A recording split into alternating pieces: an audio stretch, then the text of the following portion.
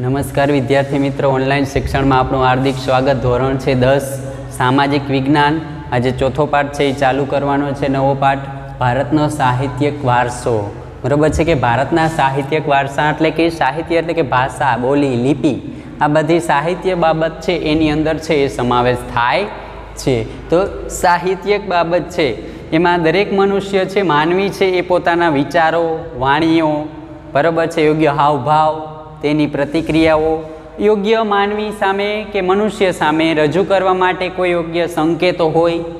બરાબર છે કે નિશાન સંકેતો? આ દ્વારા વિવિધ ભાષા અને લિપિઓ છે એનો ઉદ્ભવ થાય છે.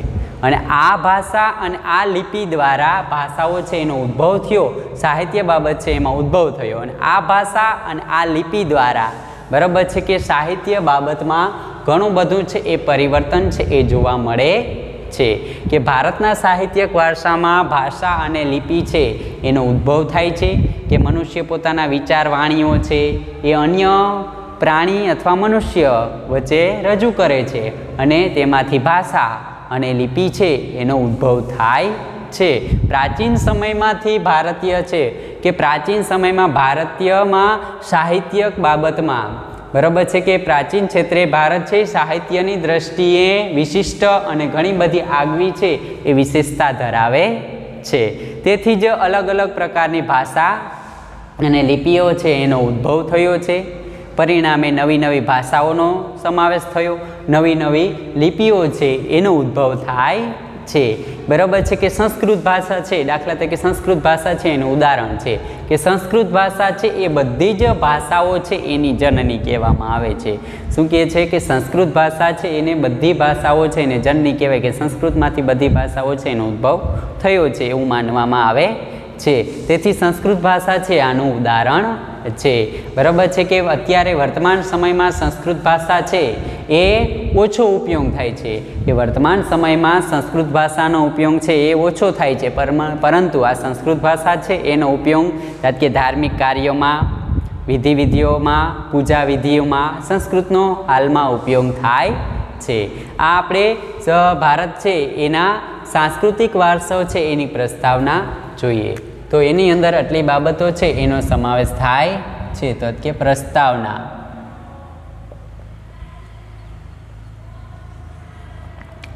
કે માનવી પોતાના વિચારો, બરાબર છે, હાવભાવો, પ્રતિક્રિયાઓ, માનવી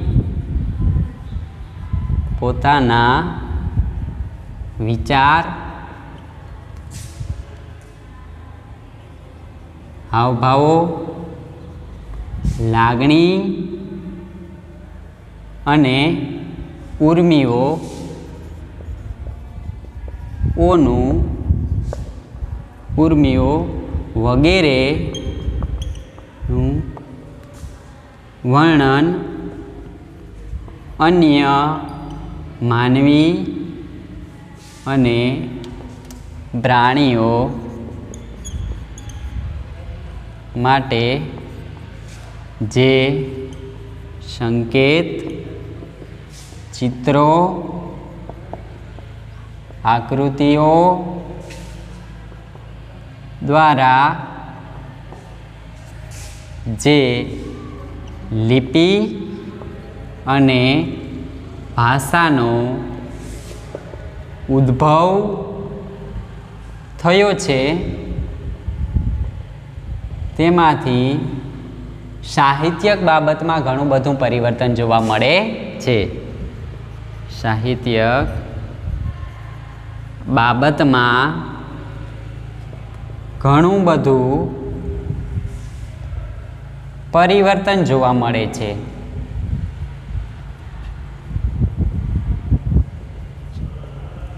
સાહિત્યક બાબતમાં ઘણું બધું પરિવર્તન છે એ જોવા મળે છે. પ્રાચીન સમયમાં ભારત છે એ કીધું કે પોતાની સાહિત્યક બાબતમાં અનેક ગણું વિશિષ્ટ સ્થાન ધરાવે છે.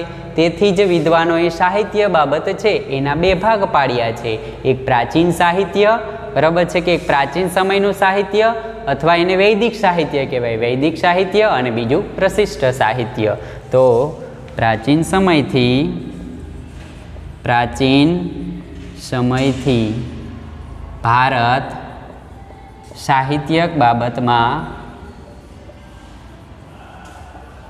બાબતમાં ઘણું વિશિષ્ટ અને વિવિધતાભર્યું સ્થાન ધરાવે છે.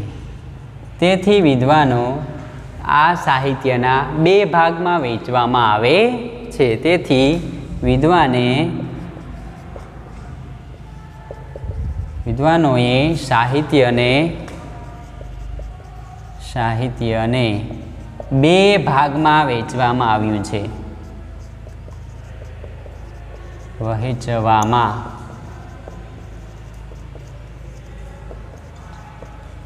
બે ભાગમાં વેચવામાં આવ્યું. પહેલું કયું તાત કે વૈદિક સાહિત્ય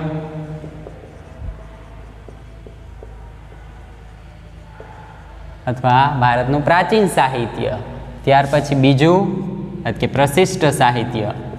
પ્રશિષ્ટ સાહિત્ય.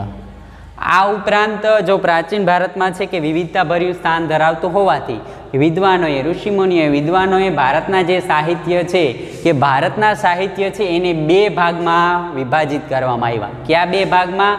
કે વૈદિક સાહિત્ય અને પ્રશિષ્ટ સાહિત્ય. આ બે ભાગમાં છે, આ સાહિત્ય છે, એનું વર્ણન કરવામાં એટલે કે એને વહેંચવામાં આવ્યા છે અને કેટલુંક કેટલા, આ ઉપરાંત કેટલાક સાહિત્ય છે, ત્રણ ભાગમાં, ત્રીજા ભાગમાં તત કેટલીક તેની બોલીઓના આધારે. બરાબર છે કે ત્રીજું તત કેટલીક એની બોલીઓના, લોકબોલીઓના આધારે રચાયેલું સાહિત્ય. લોકબોલીઓ છે, એના આધારે પણ રચાયેલું સાહિત્ય છે. એનો પણ સમાવેશ કરવામાં આવ્યો છે. તો આ ભારતના સાહિત્યની અંદર પ્રસ્તાવના છે, એમાં આ બાબત છે, એનો સમાવેશ થાય છે.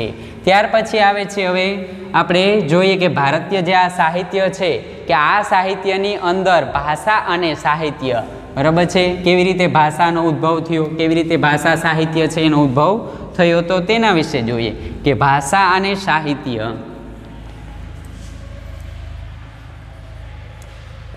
ભાષા અને સાહિત્ય.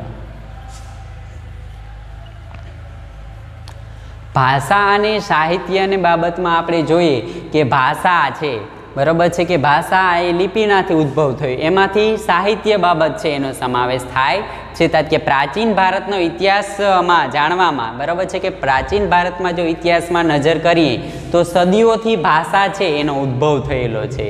બરાબર છે કે પ્રાચીન સમયમાં જો ભારતના ઇતિહાસમાં નજર કરીએ, તો સદીઓથી ભાષાઓ છે ભાષા લિપિનો છે, ઉદ્ભવ થયો છે. આ ભાષાના પ્રભાવથી અને એના અસરના કારણે, ભાષાના, બરાબર છે, પ્રભાવ અને અસરના કારણે સાહિત્ય ક્ષેત્રમાં ઘણું બધું છે, એ પરિવર્તન છે, એ જોવા મળે છે. હિન્દી ભાષા છે, સંસ્કૃત ભાષા છે, એ આ ભાષાનું ઉદાહરણ તરીકે આપણે લઈ શકીએ કે બધી ભાષાઓ છે, એની જનની છે, એ સંસ્કૃત ભાષા છે અને સંસ્કૃત ભાષામાંથી આ બધી ભાષાઓ છે, એનો ઉદ્ભવ થયો છે. વર્તમાન સમયમાં સંસ્કૃત ભાષા છે, એ ઓછી બોલાય છે, પરંતુ ધાર્મિક કાર્ય, બરાબર છે, યજ્ઞવિધિઓમાં સંસ્કૃત ભાષા છે, એનો ઉપયોગ છે, એ થતો આવ્યો છે. તો ભાષા અને સાહિત્યની બાબતમાં ઘણું બધું વિશિષ્ટ અને વૈવિધ્ય સ્થાન ધરાવે છે. પછી સામાન્ય માનવી છે, બરાબર છે કે એક માનવી બીજા માનવી સાથે પોતાના અભિવ્યક્તિઓ, વિચારો, વાણીઓ, બોલીઓ દ્વારા અથવા ભાષાઓ દ્વારા, બરાબર છે કે એક વ્યક્તિ છે બીજા વ્યક્તિ સાથે પોતાની ભાષા અને લિપિ દ્વારા યોગ્ય હાવભાવથી વાતચીત કરી શકે છે. બરાબર છે કે વાતચીત કરવા માટે દરેક વ્યક્તિ પોતાની લિપિ અને ભાષા દ્વારા સાહિત્યની બાબત છે એમાં રજૂ કરી શકે છે. અને પ્રાચીન ભારતની જે ભાષા લિપિ છે એ હડપાના સમયની છે.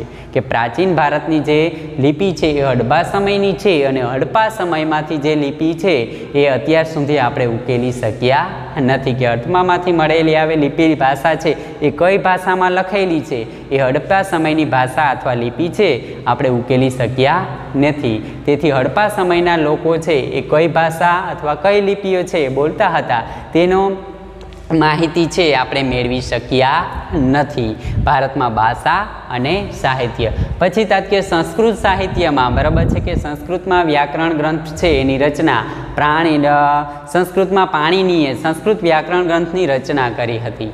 બરાબર છે? તો તમને પ્રશ્ન પૂછવામાં આવે કે સંસ્કૃતના વ્યાકરણ ગ્રંથ છે, એની રચના કોને કરી? તો પાણીનીએ કયા ગ્રંથ રચ્યો? તાત્કે અષ્ટાધ્યાયી ગ્રંથ રચ્યો. તો લખી શકીએ તાત્કે સંસ્કૃતમાં પાણીનીએ વ્યાકરણ ગ્રંથ ગ્રંથ, કયો તાત કે અષ્ટાધ્યાયી. અષ્ટાધ્યાયી. અષ્ટાધ્યાયી ઈસવીસન પૂર્વની ચોથી સદીમાં, ચોથી સદીમાં આ ગ્રંથની રચના કરી. આ ગ્રંથ એટલે કયો? અષ્ટાધ્યાયી. આ ગ્રંથની ગ્રંથની રચના કરી હતી. બરાબર છે કે સંસ્કૃતમાં પાણીનીએ સંસ્કૃત વ્યાકરણ ગ્રંથમાં જે પાણીની અષ્ટાધ્યાયી નામના ગ્રંથની ઈસવીસન પૂર્વની ચોથી સદીમાં અષ્ટાધ્યાયી ગ્રંથ છે એની રચના કરવામાં આવી અને તેને કહ્યું કે સંસ્કૃત છે એ વૈજ્ઞાનોની વિજ્ઞાનોની ભાષા છે, સંસ્કૃત છે એ દેવોની ભાષા છે અને સંસ્કૃત છે એ ઋષિઓની ભાષા છે. તેને જણાવ્યું છે કે સંસ્કૃત એ આર્યની ભાષા છે ઋષિઓની ભાષા છે અને વિજ્ઞાનની ભાષા છે. તો તેણે સંસ્કૃત ભાષામાં સંસ્કૃત ભાષાને આર્યોની ભાષા ભાષા, વેદોની ભાષા, ઋષિઓની ભાષા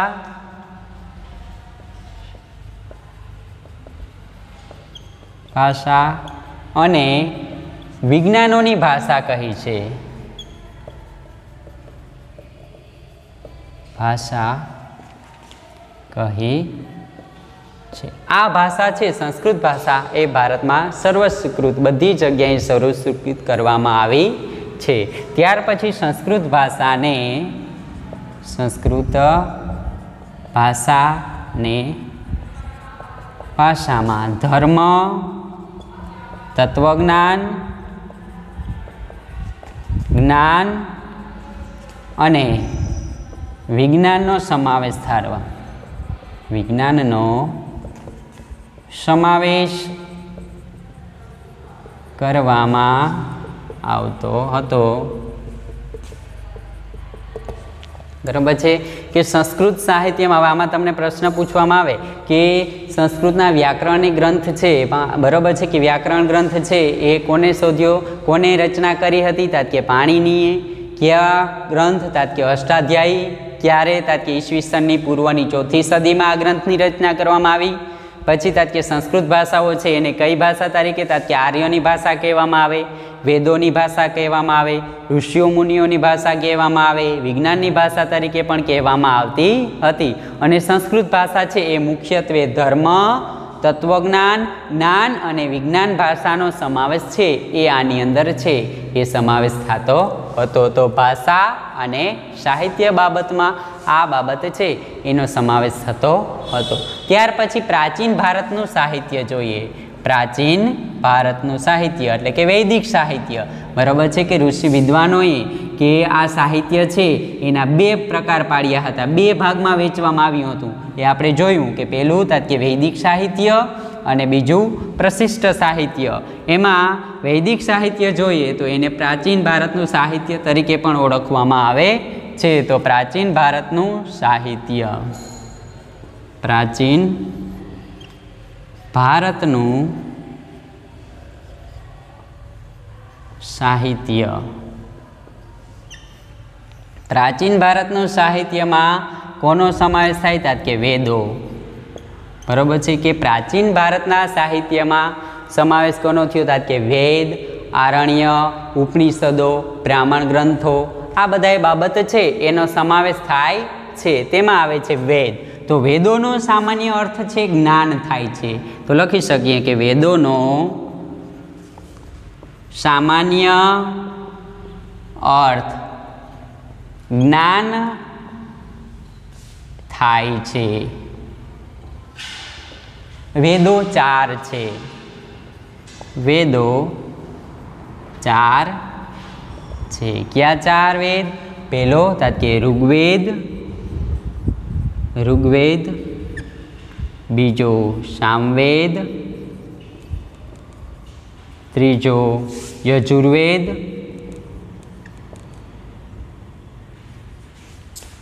અને ચોથો, અથર્વવેદ. ચાર વેદો છે. વેદો, તાત કે વેદો છે. વેદોની સામાન્ય અર્થ થાય છે જ્ઞાન. બરાબર છે કે વેદો છે, એનો સામાન્ય અર્થ આપણે કહીએ તો વેદોનો સામાન્ય અર્થ થાય છે જ્ઞાન. વેદો કેટલા છે? કે ચાર. કેટલા વેદો? ચાર વેદ. યાદ રાખવાનું. પહેલો ઋગ્વેદ, સામવેદ, યજુર્વેદ અને અથર્વેદ. એમાં આપણે પહેલો વેદ જોઈએ કે ઋગ્વેદ.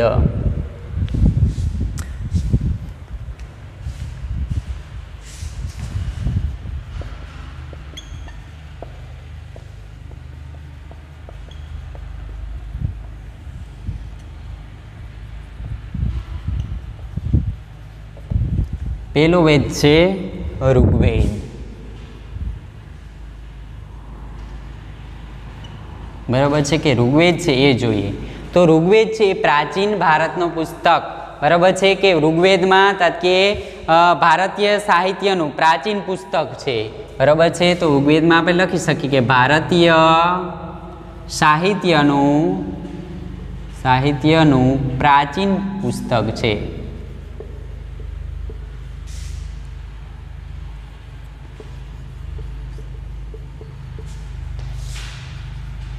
વેદમાં ભારતીય ભારતીય સાહિત્યનું પ્રાચીન પુસ્તક છે એ ઋગ્વેદ છે. તેમાં એક હજાર ને અઠ્યાવીસ ઋચાઓ આવેલી છે. તેમાં એક હજાર અઠ્યાવીસ ઋચાઓ આવેલી છે. તો હવે તમને પ્રશ્ન પૂછવામાં આવે કે ઋગ્વેદમાં કેટલી ઋચાઓનો સમાવેશ થયો? અથવા કેટલી ઋચાઓ આવેલી છે? તો ઋગ્વેદમાં એક હજાર અને અઠ્યાવીસ છે, એ ઋચાઓ છે, એ આવેલી છે. આ ઋચાઓ છે દસ ભાગમાં અથવા ઋગ્વેદ ઋગ્વેદ છે, એને દસ ભાગમાં વહેંચવામાં આવ્યો છે. સૌથી મોટો વેદ ઋગ્વેદ કે ઋગ્વેદને, વેદને દસ ભાગમાં ભાગમાં વહેંચવામાં આવે છે.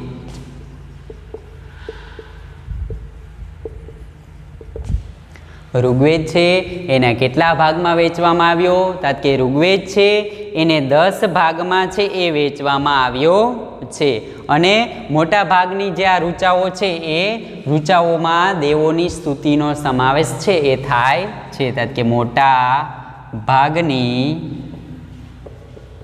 ઋચાઓમાં દેવોની સ્તુતિ, સ્તુતિનો સમાવેશ થાય છે. સમાવેશ થાય છે.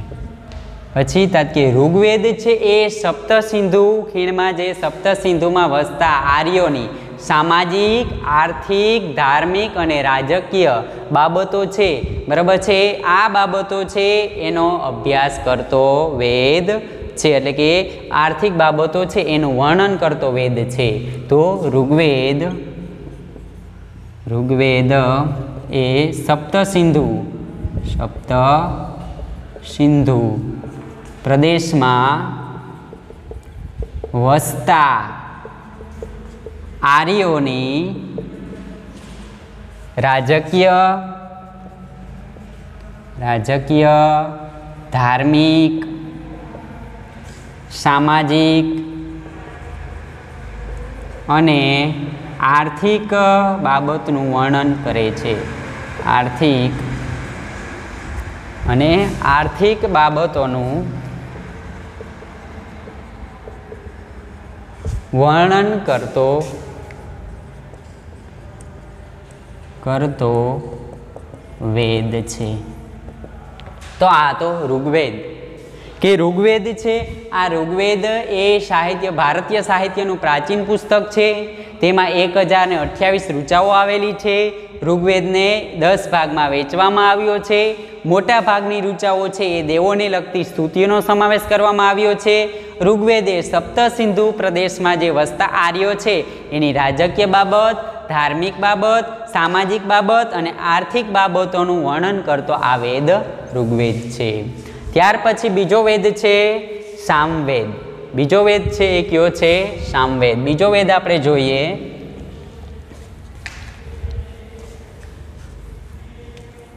બીજો છે સામવેદ. સામવેદ.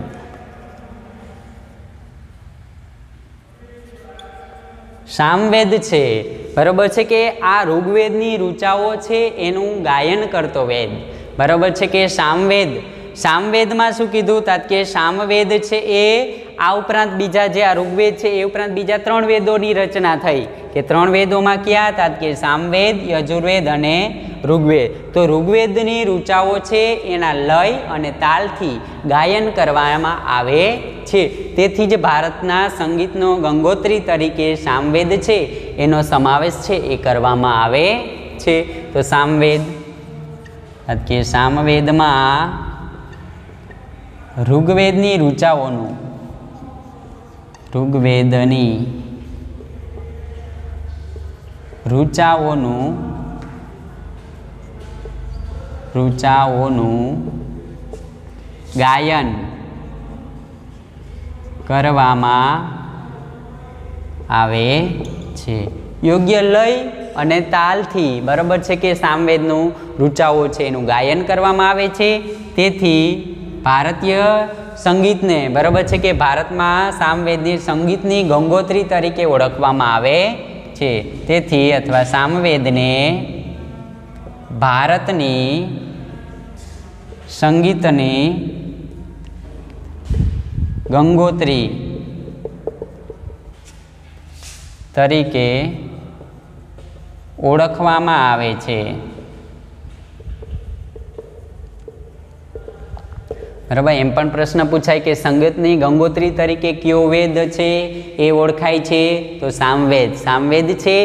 એને સંગીતની ગંગોત્રી તરીકે પણ આ વેદ છે. એને ઓળખવામાં આવે છે. ત્યાર પછી આવે છે ત્રીજો વેદ છે યજુર્વેદ.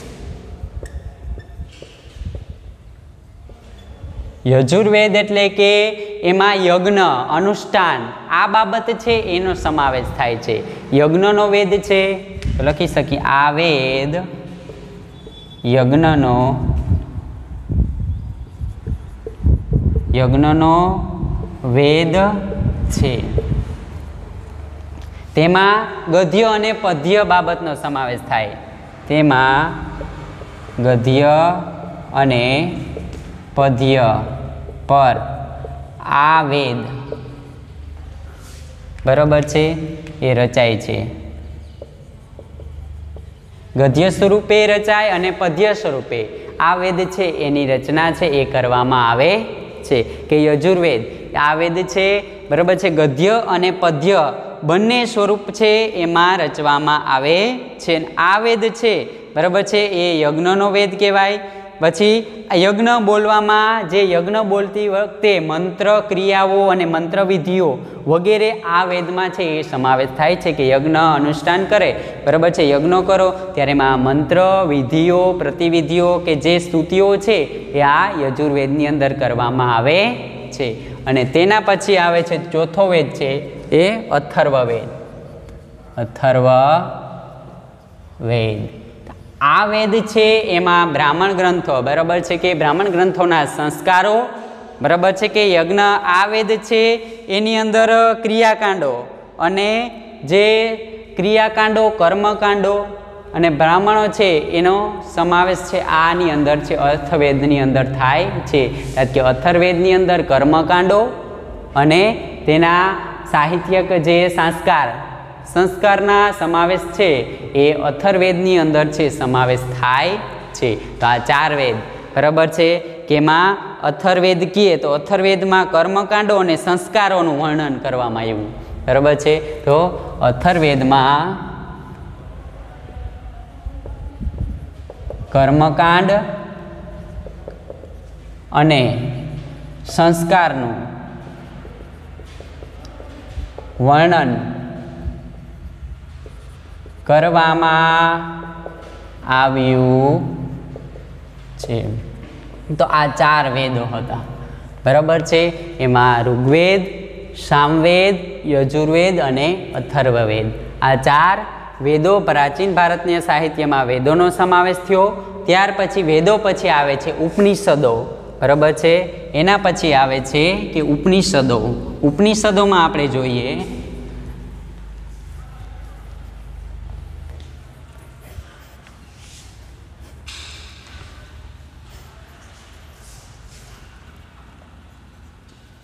ઉપનિષદો. ઉપનિષદ tehát કે ઉપનિષદ સાહિત્યમાં ઉપનિષદ સાહિત્યમાં બ્રહ્માંડનો આરંભ બ્રહ્માંડનો આરંભ, જીવન, મૃત્યુ, ભૌતિક અને કેટલીક આધ્યાત્મિક બાબતો ભૌતિક અને કેટલીક આધ્યાત્મિક.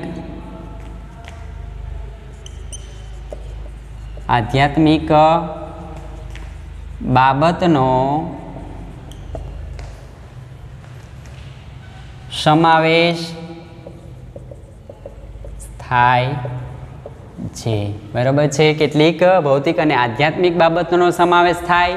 પછી તાત કે ઉપનિષદો છે. એમાં, બરાબર છે કે ઉપનિષદોમાં જે કેટલી સંખ્યાઓ છે ઉપનિષદોની તાત કે ઉપનિષદો છે, એની સંખ્યા છે ને આઠ છે. બરાબર છે? ઉપનિષદોની સંખ્યા આઠ છે. ઉપનિષદોની.